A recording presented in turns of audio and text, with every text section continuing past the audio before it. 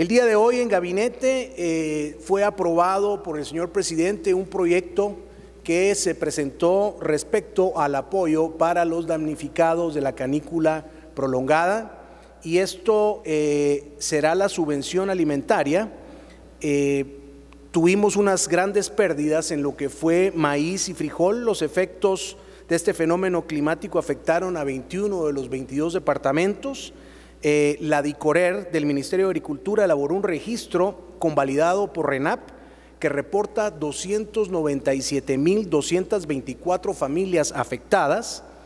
Los agricultores afectados ya reciben acompañamiento y asesoría técnica de los extensionistas del MAGA para procurar una cosecha de segunda y para llegar a la conclusión que se llegó respecto a lo que es eh, la subvención, se evaluaron todas las opciones para atender a las familias afectadas. La primera opción era la compra de alimentos por licitación, pero esta opción eh, era insuficiente el tiempo para poderse lograr. La segunda era la compra de alimentos mediante contrato abierto, pero no es factible porque al momento no contamos con un contrato abierto vigente.